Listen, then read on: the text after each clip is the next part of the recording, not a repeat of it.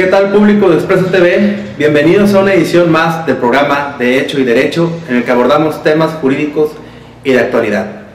Hoy nos acompaña un invitado especial, el magistrado Armando Villanueva Mendoza, quien es presidente del Supremo Tribunal de Justicia y el Consejo de la Judicatura del Estado. ¿Qué tal, Armando? ¿Qué tal, Pedro? ¿Cómo están? Muchas gracias por la invitación. Muchas gracias a Arnoldo, a Alberto y obviamente a ti y a tu medio de comunicación, que creo que es un esfuerzo por difundir lo que se hace en la comunidad y sobre todo en la comunidad jurídica a toda la ciudadanía. Creo que es algo importante y por ello los felicito. Muchas gracias. Igualmente nos acompaña el licenciado Adalberto Guevara Montemayor. Pedro, presidente, buenas tardes, buenas tardes, Arnoldo. Y el licenciado Arnoldo Huerta Rincón. Alberto, magistrado presidente, nos vemos aquí, Pedro. En el programa de hoy hablaremos sobre el control de confianza. Y para ello nos explicará de manera concreta Adalberto el tema. Gracias, Pedro. Pues bueno, eh, nada más explicarlo de manera muy breve, los, los exámenes o evaluaciones de control de confianza son un instrumento para verificar o acreditar que una persona cumple con los requisitos que se establecen en ley para iniciar en, el servicio público o bien para mantenerse en un puesto. Este, es decir, la, ley señala ciertos requisitos que una persona debe contar, digamos, de la honestidad, la probidad, este, un buen estado de salud y las evaluaciones de control de confianza sirven precisamente para demostrar que se cumplen con esos requisitos. Ese, ese es el punto central de lo que significa la evaluación de control de confianza. Muchas gracias Alberto. Arnoldo, recientemente eh, en los medios eh, se publicó respecto al caso de Jalisco. ¿Nos podrías explicar más al respecto? Sí, pero la semana pasada hubo una, una discusión ahí en la, la Suprema Corte de Justicia por una controversia constitucional que presentó el Poder Judicial del Estado de Jalisco respecto a una ley que se llama la Ley de Control de Confianza. Eh, aquí es rápido, muy rápido para explicar rápido lo que es la controversia constitucional. Es un juicio unistancial que se promueve ante la Suprema Corte de Justicia de la Nación cuando hay conflicto competencial, no territorial ni, ni materia competencial que viole la Constitución entre entidades federativas o poderes en sí. Entonces, aquí el Poder Judicial eh, promueve esta controversia constitucional hace ya más de un, más de un año, con 2002, y lo que dice es que esta ley es inconstitucional porque esta ley obliga a que servidores públicos del Poder Judicial se sometan a un examen de control de confianza regulado por, impuesto por el Congreso local y por, y, por así decir, por el centro de confianza que está, que está instituido por el Ejecutivo de, ese Estado.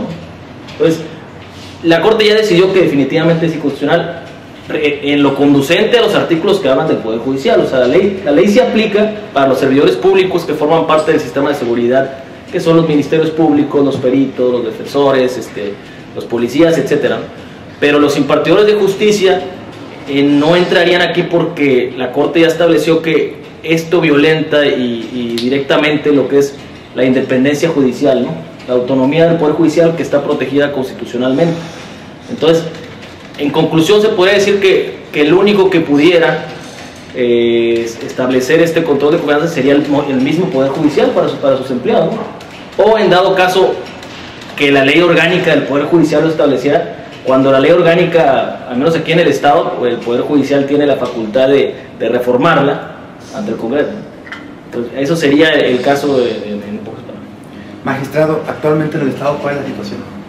Bueno, precisamente el día de hoy se iniciaron los primeros exámenes sobre el control de confianza convenidos con un área del Ejecutivo. Eh, aquí, recordando lo que planteaba Alberto hace un momento, eh, lo que se busca es pues, eh, que se cumplan con los requisitos que impone el Consejo de la Judicatura, la ley orgánica del Poder Judicial, para poder ingresar o para poder mantenerse dentro de lo que es el Poder Judicial de Tamaulipas. Eh, en esto, bueno, pues nosotros teníamos diferentes medios de controlar ah, y de evaluar a las personas o que ingresaban o que eh, trataban de ser ratificados para mantenerse. En la medida en que la propia ley le atribuye al Consejo de la Judicatura facultades para que determine qué requisitos habrán, de cumplirse. Y entonces el Consejo de la Judicatura dijo, bueno, pues eh, en principio vamos a hacer un examen de conocimientos, lo que nos importa es que quien vaya a ejercer la función jurisdiccional sepa de esta labor.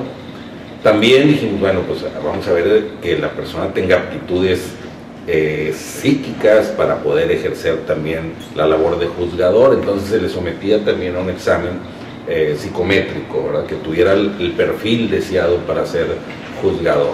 Obviamente que eh, pues muchas de las personas o la gran mayoría de las personas que acceden a la judicatura, pues vienen de carrera judicial, tienen ya muchos años dentro del Poder Judicial, empezaron como oficiales judiciales, siguieron como actuarios, subieron a secretarios, proyectistas, secretarios acuerdos y luego presentan sus exámenes y pues, eh, logran acceder a la judicatura. Entonces, pues es toda una historia de vida que está plasmada dentro de los expedientes personales que tenemos en el Poder Judicial. Si alguien se porta mal, pues inmediatamente habrá las sanciones, aparecerán por sus propios jefes las calificaciones que les imponen y todo eso era la manera de evaluar. Sin embargo, surgen nuevos métodos, surgen eh, nuevas acciones pues, eh, implementadas por el Estado principalmente para las áreas del Ejecutivo o de los ejecutivos del país. Eh, que son precisamente dentro del Sistema Nacional de Seguridad Pública la evaluación de agentes del Ministerio Público y de agentes policiales, la parte de procuración de justicia siendo evaluada. No pasaba al Poder Judicial porque, bueno, pues el Poder Judicial tenía una evaluación eh, sistemática, una evaluación constante eh, y además, bueno, eh, para quienes pretendían su ratificación, dentro del Poder Judicial tenemos lo, lo, que es el sistema de evaluación del desempeño. O sea, sabemos además de tu historia de vida, sabemos también tu historia de cómo te has reflejado en tu actuar, en, tu, en tus juicios que has emitido a lo largo de tu actividad como juzgador. Entonces, bueno, pues, pues implicaría el generar toda una estructura que utilizamos solamente cada tres años que eh, hay que ratificar un juez o cada que haya una vacante que no es muy común y que, y que bueno, pues este, quiere, tengamos que llenarla y que haya que ingresar a alguien. ¿no? El año pasado pues, nombramos tres jueces nada más, ¿verdad? Entonces sí es una situación que, que, que tener toda una estructura para estar evaluando no es lo mismo que Poder Ejecutivo, que hay todas una serie de corporaciones que hay que estar pues eh, al pendiente en su evaluación. Entonces de esta manera, pues cuando se vio la oportunidad de generar un convenio con estas áreas, pues vamos a, convenirlos, si están de acuerdo, les, gustó la idea, este, les dimos los elementos que necesitamos nosotros que evalúen, porque no es una evaluación de un policía o de un ministerio público, sino de un juzgador, de un, de un señor juez que tiene este, una está tutelado su actuar constitucionalmente. Entonces, de esa manera, pues eh, buscamos que haya todavía mayor certeza para la sociedad. O sea, no es tanto la, que, que, exista desconfianza, sino lo que, que nosotros queremos brindarle a la colectividad es que se den cuenta que nuestros jueces en su actuación pues eh, eh, se encuentran bajo la lupa sin ninguna sospecha. Eh, y, eso, y eso es importante porque muchas veces siempre existe la duda, ¿no? El, el, Poder Judicial, el juzgador es una persona imparcial. Entonces, si alguna de las partes, la parte acusadora, no te da los elementos suficientes, pues la obligación del juez es dejarlo en libertad.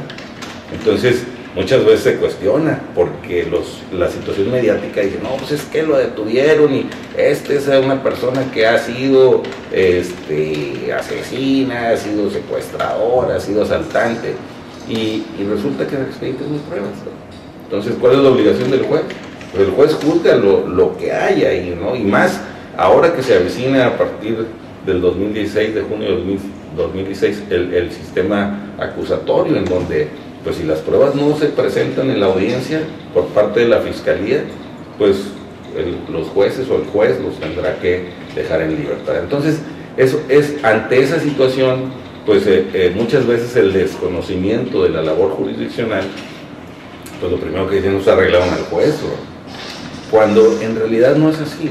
El, juez eh, cuida su trabajo, está constantemente supervisado, nosotros tenemos en, nuestras áreas de supervisión del Poder Judicial la visitaduría judicial que los visita a todos los jueces del Estado tres veces al año y les revisa que efectivamente estén bien. Y si no están bien, les, hace la, si, hay, presunciones de alguna equivocación, se investiga a fondo y si hay alguna responsabilidad, se le da vista al Consejo y se inicia todo un procedimiento que puede llegar hasta, hasta su destitución y poner a disposición del Ministerio Público.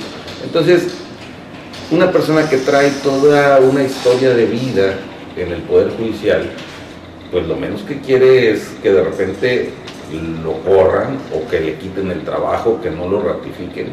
Porque bueno, esa ya es su historia de vida. Él quiere seguir adelante, más ahora que tienen la posibilidad de llegar a ser consejeros de la judicatura, que es el nivel de magistrados y que tienen dos lugares dentro del consejo, y, o, llegar incluso a ser magistrados. Hoy tenemos algunos eh, juzgadores que empezaron como juzgadores y que son compañeros magistrados. Entonces, eso yo creo que que es lo que tiene que conocer la gente y por eso la importancia de este tipo de noticiarios, de, mesas redondas para comentarlo, porque, es la manera en que la colectividad se da cuenta y cuando dice, bueno, pues el, juez lo liberó, pues sí, lo liberó porque la no había prueba.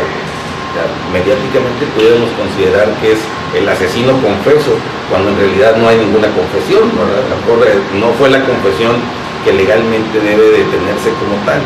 Entonces yo creo que eso es, algo importante. Eh, el Poder Judicial está aprovechando esta, esta situación, eh, eh, continúa con sus evaluaciones, pero obviamente si tenemos la posibilidad de una evaluación física, una evaluación psicométrica, una evaluación toxicológica, una evaluación sobre su, desarrollo socioeconómico, pues, qué mejor que nos lo haga alguien ajeno al Poder Judicial y nosotros lo reconocemos. Es un, es, y no es que nos estemos asemejando al caso Jalisco, ¿no? porque el caso Jalisco es muy diferente. Incluso la Corte se pronunció en ese sentido. Si se establece, tiene que ser establecido por un, requisito por los propios órganos jurisdiccionales o, por la ley, pero una ley específica para el Poder Judicial. Aquí no, aquí no hubo necesidad. La ley orgánica le da atribuciones al Consejo de la Judicatura para establecer los requisitos que hay que cubrir y bueno, pues el Consejo lo cumplió con esas facultades y bueno, un requisito más es que se pase ese examen de control de confianza que se preparó adecuadamente para los jueces. Nuestros jueces no están evaluados como policía o como ministerio público. Nuestros jueces están evaluados conforme a los principios que rigen a la judicatura, conforme a la función que ejercerá de, juzgar, y bueno, pues eh, en la medida en que eso sea exitoso lo vamos a mantener, en la medida en que no, sea, no nos brinda un buen resultado, que lo dudo porque siempre todas las acciones tienen que medirse y en este caso estamos midiendo a los jueces. Y independientemente del resto de evaluaciones que hemos realizado y que continuamos realizando dentro del ejercicio de la función Muy bien. Adalberto, una conclusión del tema. Sí, pues yo, yo creo que el, el magistrado ha tocado dos puntos muy, muy importantes, que es el, requisito adicional, que, que es algo que se pretende generar confianza hacia la sociedad en la función jurisdiccional que pues a veces la, función jurisdiccional este, es un poquito vista con, cierta suspicacia cuando los jueces son, son de una probidad reconocida. Y en segundo plano, pues la, cuestión de la, digamos, la comparación entre Jalisco y Tamaulipas, que Tamaulipas pues es acorde a, a la constitución, perfectamente válido el, control que se está haciendo de, la actividad de los jueces porque la realiza el propio Poder Judicial y no un externo por una imposición, sino que es voluntad del, propio Poder Judicial someter a, los jueces a este control. Muy bien. Arnoldo, una pregunta final.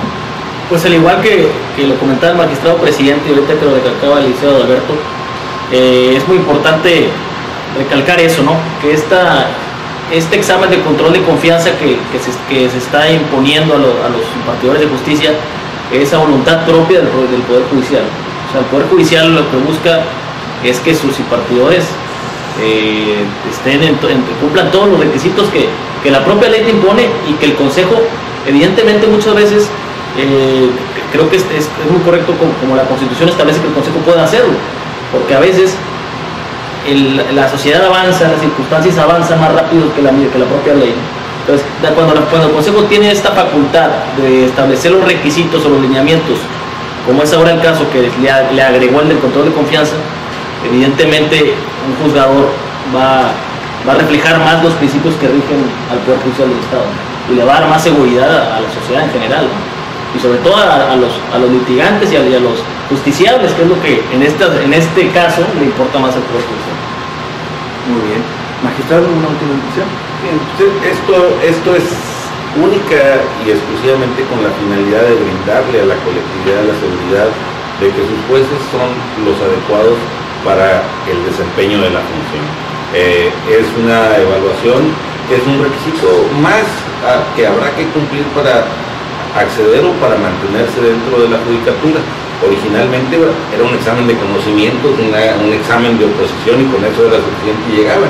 En la medida en que los tiempos van evolucionando, como mencionaba Arnoldo, pues obviamente van surgiendo otros requisitos, otras preocupaciones que hay que atender y bueno, pues eh, lo estamos haciendo en aras de tener una judicatura sin, sin ningún señalamiento.